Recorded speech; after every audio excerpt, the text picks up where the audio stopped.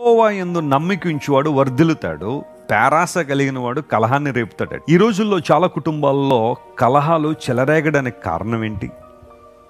గొడవలు గందరగోళాలు రావడానికి పునాది ఏంటి అని ఆలోచన చేస్తే పేరాశ దురాశ.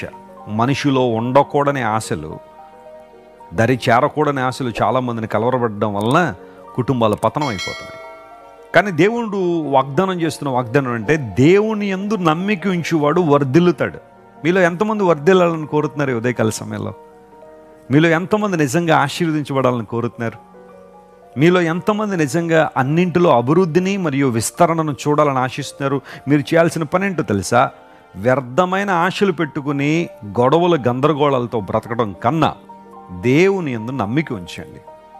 Put your trust in Jesus